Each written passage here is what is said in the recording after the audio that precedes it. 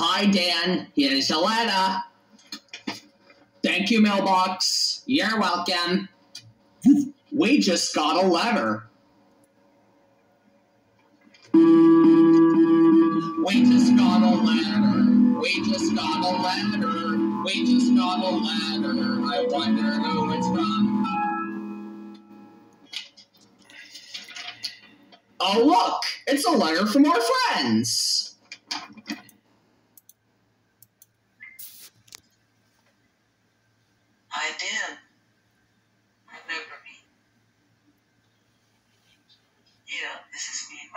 Do you want to know what my favorite season six episode of Blues Clues is?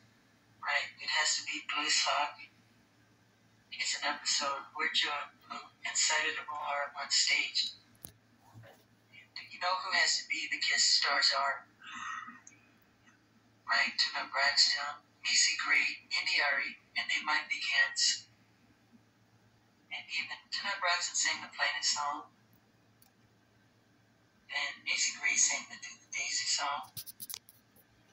India Arie sang the Mailtime song.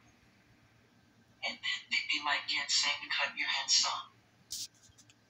And the three clues for banjo sounds, mesh sounds, and saxophone sounds. And the answer will be Old Mackinac.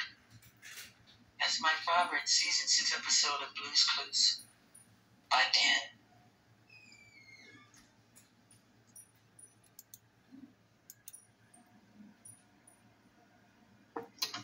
Bye.